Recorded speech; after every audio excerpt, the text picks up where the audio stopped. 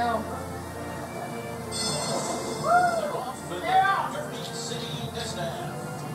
Center aisle had a good beginning and goes up with that 20 for the front. These two flashy early funders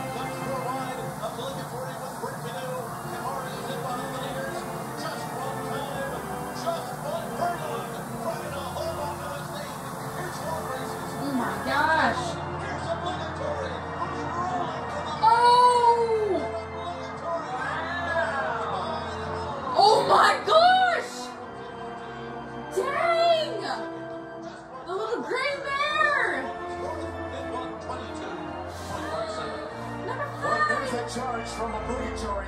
Larry calls him Obligatory. 14 back, and Cool. 14 back to go.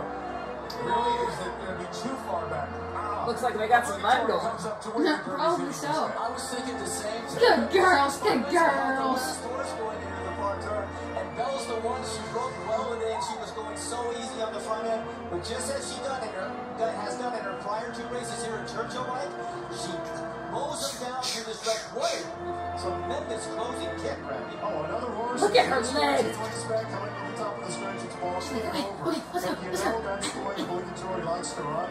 And then you look at the fractional Yay, times. the little gray Six bear! Look at race. it go! Wow.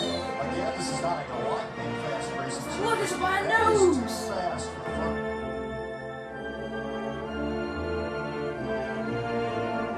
Ready?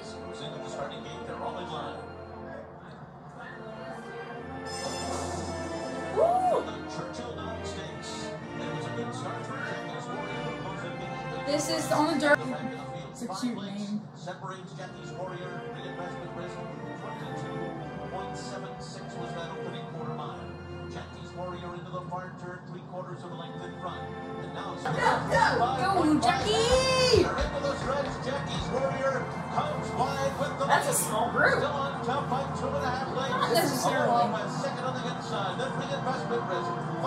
Sir Alfred James.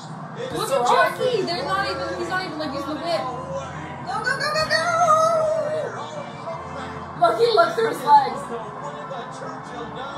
Oh my gosh!